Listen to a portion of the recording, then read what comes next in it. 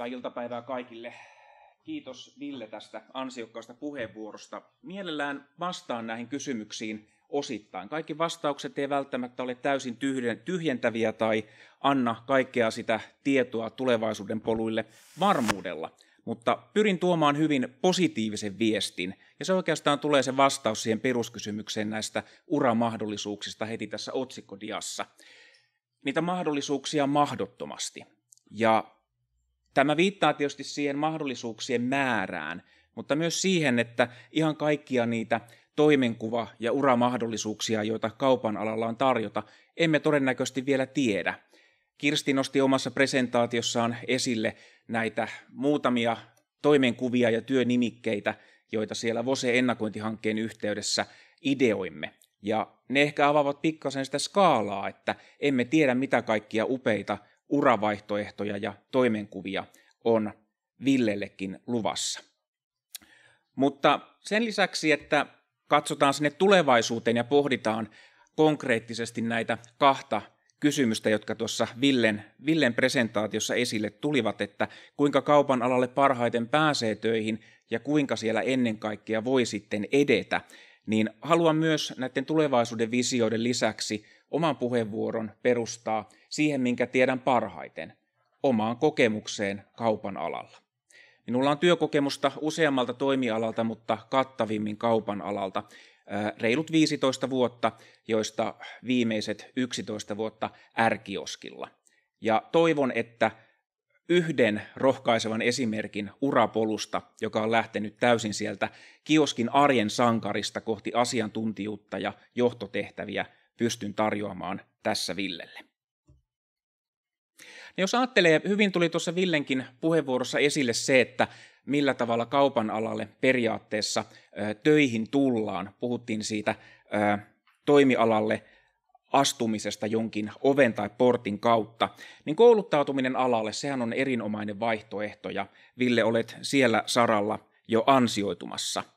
Ja sitten tietysti moni kokee, että kaupan alalta löytyy se ensimmäinen hyvä työpaikka. Se voi olla tosiaan opintojen ohessakin siellä ja sopia elämäntilanteeseen. Ja parhaimmillaan, kuten Ville kertoi, ne työnantajan ja työntekijän tarpeet kohtaa parhaiten juuri tässä elämänvaiheessa.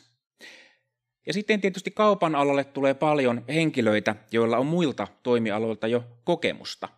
Omalla kohdalla oli juuri näin. Ja minulla on semmoinen kokemus itselläni, että kaupan alalla arvostetaan paljon kompetensseja ylipäätään ja myös sitten muilla toimialoilla hankittua osaamista.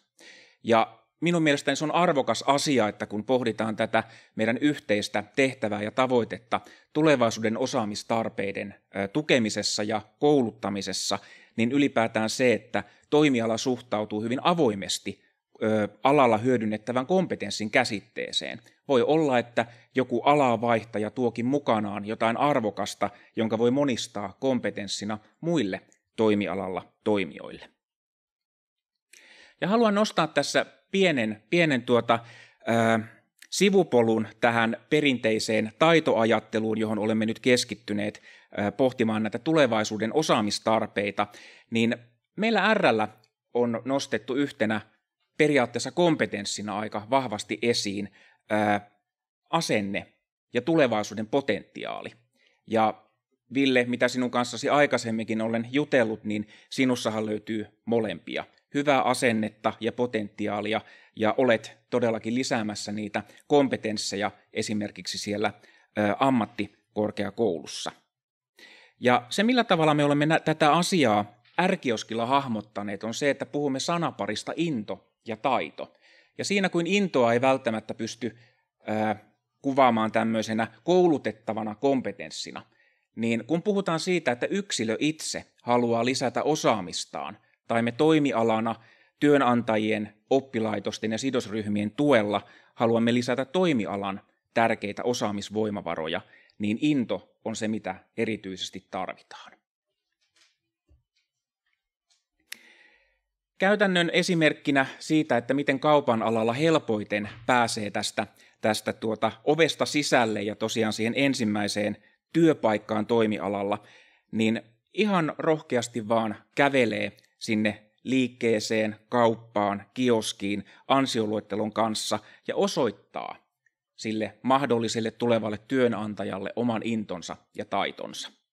Voi kyllä soittaa etukäteen ja kysyä, että onko se liikkeen omistaja tai työnantaja tuleva mahdollinen esimies sillä paikalla, mutta ää, itse tein tällä tavalla ja sain ensimmäisen kaupan alan työpaikan.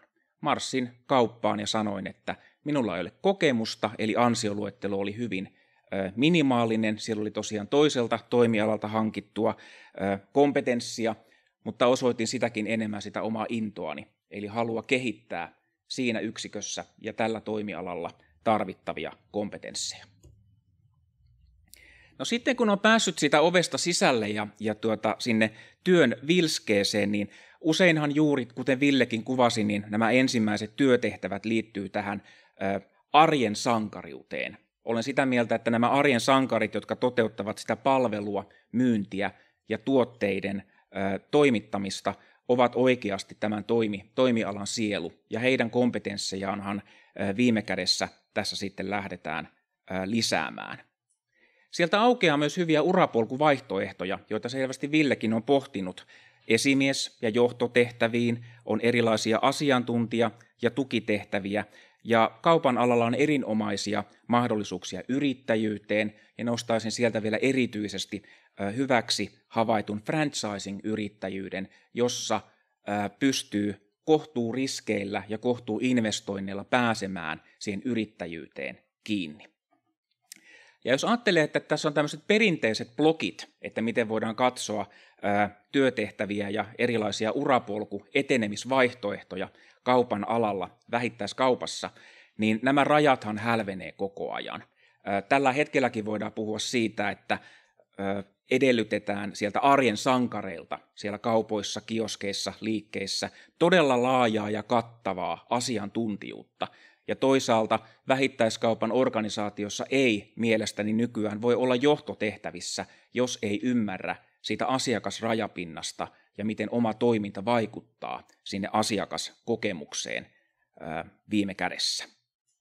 Mihin tämä myyjän työ, vähittäiskaupan muiden arjen sankareiden työ, toimenkuva, mihin suuntaan se menee, siitä olemme keskustelleet tänään paljon se varmasti linkittyy myös ja vaikuttaa sitä kautta siihen, että minkälaisilla kompetenssilla varustetut ihmiset, minkälaisilla toimenkuvan rajauksilla voivat toimia näiden arjen sankareiden esimiehinä ja sitten tukitehtävissä, jotta saadaan edelleen sitä palvelua ja myyntiä toteutettua.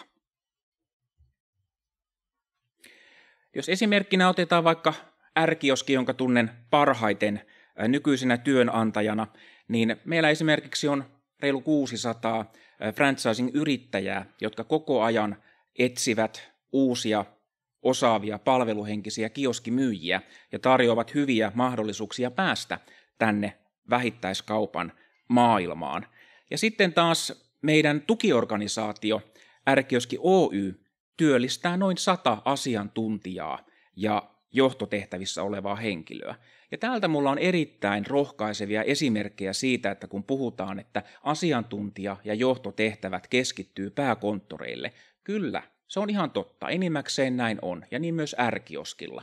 Mutta meillä esimerkiksi on panostettu vuosikausia siihen, että meillä on myös alueellista asiantuntijaverkostoa, jonka toiminnan mahdollistaa viime kädessä nykyteknologia, joka on noussut paljon mahdollisuuksia tuovana, mutta myös haasteita esittävänä tekijänä tämän päivän esityksissä esiin. Eli esimerkiksi meillä on siellä Mikkelin alueella ihan asiantuntijaverkkoa, josta sitten tullaan niin kutsutusti pääkallon paikalle hyvin harvakseltaan muita asiantuntijoita tapaamaan, ja kaikki tämä yhteinen toiminta, yhteistyö, raportointi ja viestintä on mahdollista sieltä maakunnista käsin. Ja sitten haluan korostaa tietysti sitä, että meilläkin franchising-yrittäjiä haetaan, haetaan koko ajan ja hyvin uusilla keinoilla. Meillä on hyvin rohkaisevia esimerkkejä esimerkiksi viimeisen vuoden ajalta trainee-ohjelmista ja sitten tämmöisistä valmentavista rekrytointiprojekteista, valmentavista rekrytointiputkista, jossa yleensä oppilaitoksilla on hyvin tärkeä rooli, kun valmistaudutaan siihen tulevaan rooliin yrittäjänä. Siellä voi toimia selkärankana vaikkapa yrittäjän ammattitutkinto, ja sitten katsotaan, että mitä toimiala ja organisaatio ja se toimenkuva, johon valmistaudutaan, tuo vielä erityistarpeita sen tutkinnon perusteiden suorittamisen lisäksi. Tässä on oikeastaan kolme keskeisintä vinkkiä. Millä tavalla pääsee alalle, on aktiivinen, osoittaa sitä omaa intoa ja taitoa. Taidoilla todennäköisesti on isompi rooli, jos se ansioluettelo on jo vähän pidempi, ja jos se ansioluettelo on vielä vähän lyhyempi, niin sillä asenteella, innolla, motivaatiolla on sitäkin suurempi rooli. Ja se, että osoittaa sitä kehittämishalua, kehittymisintoa, koska uskon oikeasti ja omat kokemukset vahvistaa sen, että vähittäiskaupan työnantajat oppilaitosten tuella ja myös omia työkalujaan hyödyntäen tukee henkilöitä, työntekijöitä, arjen sankareita siinä, että he voivat lisätä kompetenssejaan, joiden avulla pystyy sitten hakeutumaan urapoluilla seuraaville askelmille.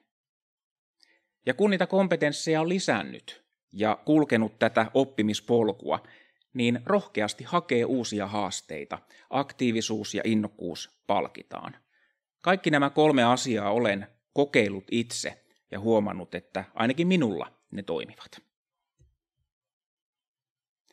Summa summarum, tuota, jos sanoisin näin, että into, motivaatio, asenne ovat erittäin tärkeitä asioita, joilla pääsee varmasti ovesta sisälle ja toimialalle, ja ehkä niitä ovia aukeaa toimialan sisälläkin enemmän, mutta kompetenssit, osaaminen ja halu kehittää sitä omaa osaamista vaikuttaa todella paljon siihen, kuinka monesta ovesta pääset valitsemaan vähittäiskaupan alalla, ja myös ehkä siihen, että minkälaisia mahdollisuuksia ja potentiaaleja siellä oven takana on luvassa.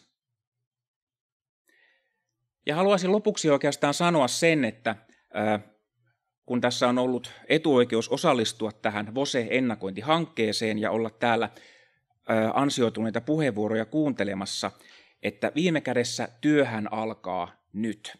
Ja toivon, että kun me lähdemme niitä tulevaisuuden osaamistarpeita jalkauttamaan, miettimään millä työvälineillä ja toimenpiteillä parhaiten saamme näitä osaamistarpeita täytettyä ja osaamista, kompetensseja lisättyä, niin toivon, että meillä on itse kullakin siihen riittävä into.